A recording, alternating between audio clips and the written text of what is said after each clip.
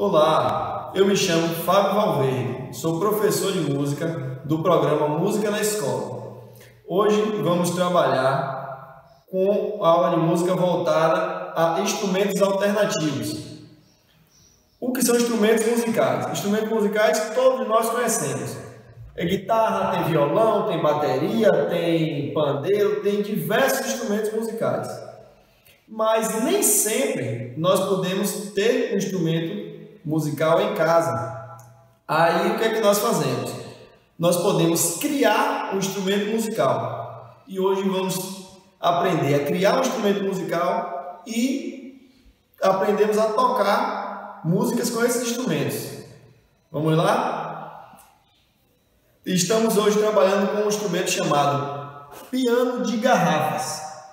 O que é o piano de garrafas?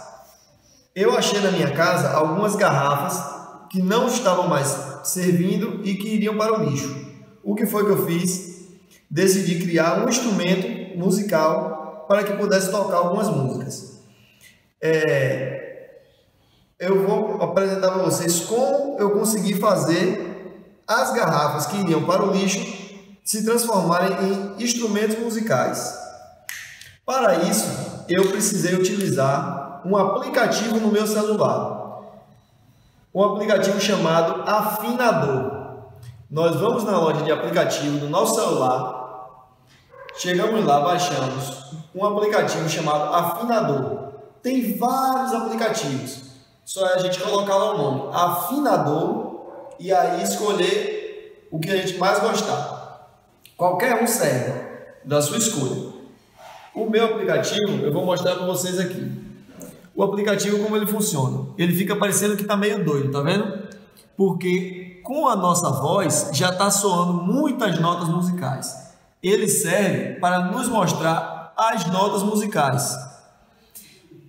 É, quanto a gente fala, ele vai captando essas notas e vai dizendo para a gente qual é a altura da nota que a gente está falando. Mas isso vai ajudar a gente conseguir afinar as nossas garrafas e transformar assim em instrumento musical. É, eu já fiz aqui para adiantar algumas notas. Essa garrafa está afinada com a nota Dó, essa com a nota Ré, esta com a nota Mi, esta garrafa com a nota Fá e essa garrafa não está afinada. Qual é o conceito? A garrafa eu peguei ela vazia normalmente, como a gente pode pegar qualquer garrafa, não tem modelo específico, não tem marca, não tem cor, é, pode ser em qualquer modelo, a garrafa que vocês encontrarem. Se a gente pegar uma garrafa e usar qualquer pauzinho, qualquer coisa, a gente pode usar como uma baqueta e tocar na garrafa, a gente vai ver que ela sai um som. Qualquer garrafa. Aí o que foi que eu fiz? Quando a gente coloca com algum líquido, eu usei água quando a gente coloca um líquido na garrafa, quanto mais enche, mais vai mudando a nota, modificando a nota. Assim como a gente quando está enchendo o copo de água. Quando a gente vai no bebedouro, que a gente bota o copo de água para encher, aí vai, vai encher e vai subindo a nota. Aí a gente já sabe que está cheio. Às vezes a gente faz isso automaticamente e nem repara. A gente está enchendo um copo de água e conversando aqui com o nosso pai, com a nossa mãe e a, o copo enchendo, a gente sabe que ele encheu pelo som. A mesma coisa acontece com a garrafa. A garrafa mais vazia, ela tem uma nota. Quando vai enchendo, ela vai aparecendo outras notas no meio até a última nota dessa garrafa, que ela toda cheia. Então, neste caso, eu enchi a garrafa todinha e aí fui retirando um pouquinho, um pouquinho, um pouquinho e usando o meu aplicativo do celular para descobrir em qual nota eu queria afinar a garrafa. Eu decidi que afinar Dó, Ré, Mi, Fá e Sol, apenas cinco notas que já dá para a gente começar a fazer algumas músicas, tocar diversas músicas apenas com essas cinco notas. Nós sabemos que tem a nota Dó, nota Ré, Mi, Fá, Sol, Lá e Si mas eu usei apenas cinco notas porque já era o suficiente e para ficar mais fácil, porque eu também não tinha tanta garrafa. É... Então, vamos apresentar aqui como conseguir chegar nas notas. Eu vou mostrar para vocês com o afinador qual nota está tocando e vou ir retirando pouquinho em pouquinho para poder a gente conseguir chegar na nota que a gente quer, sendo que essa nota nós queremos afinar ela na nota sol. Essa garrafa vai virar nota sol para a gente, nosso piano. Vamos descobrir qual é a que ela está tocando agora, qual é o som dela.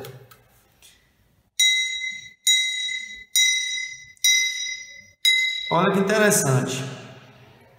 O aplicativo tem aplicativo que vem com o nome da nota. Esse aplicativo também a gente consegue colocar o nome da nota. Se vier aplicativo com as letras, vocês podem apagar e escolher outro aplicativo. Como esse eu já tinha no meu celular, a letrinha C representa a nota Dó. Isso é um tema para uma próxima aula. Mas essa garrafa está afinada na nota Dó. Tá vendo? Essa letrinha C representa a nota Dó.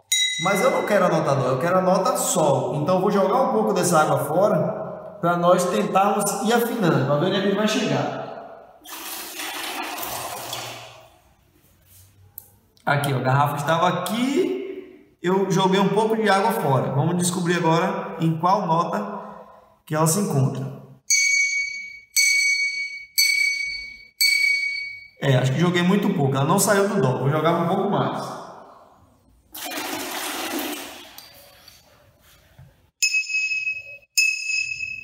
Ó, virou nota Ré. Tá quase chegando no Mi. Tá meio desafinado, tá vendo? Quando ele afinar, é quase convencional. Todos os aplicativos ficam verde quando afina. Já tá chegando no Mi. Então já fez a nota Dó, já passou pelo Ré, eu joguei um pouco mais de água fora, já está quase chegando no Mi. Vou jogar um pouco mais.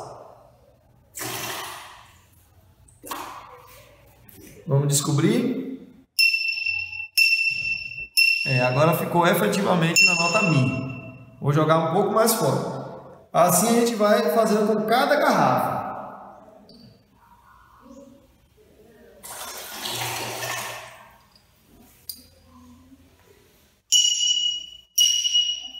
Olha. Estamos chegando na nota Fá, que é representada pela letra F. Então já estamos perto. Agora tem que ir devagarzinho agora. Tem que jogar de pouquinho em pouquinho para não passarmos da nota Sol. Senão a gente tem que encher de novo a garrafa. Joguei um pouquinho.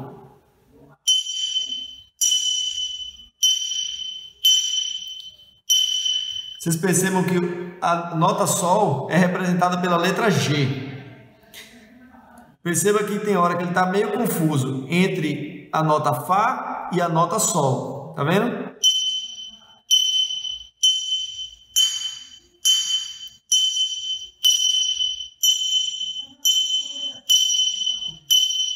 Tem hora que ele apresenta Fá e apresenta Sol. Então ainda precisa jogar um pouco mais de água fora.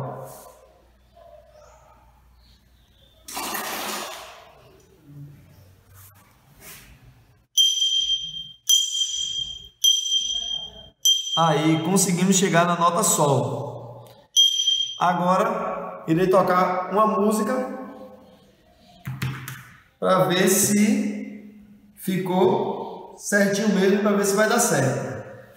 O primeiro tocar todas as notas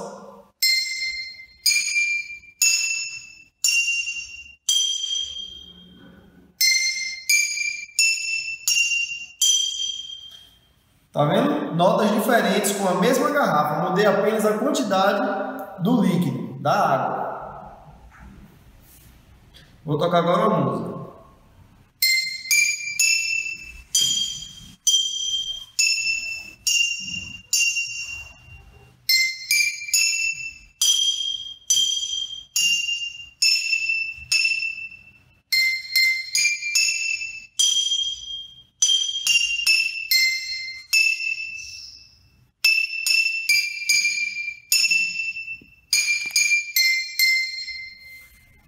Tá ok? Assim conseguimos fazer um instrumento musical em nossa casa, mesmo sem ter um instrumento musical. Aí conseguimos produzir um instrumento, aprender a afinar o instrumento com o aplicativo e assim podemos tocar diversas músicas. Vamos aprender em próximas aulas. Muito obrigado. Tenham um ótimo trabalho.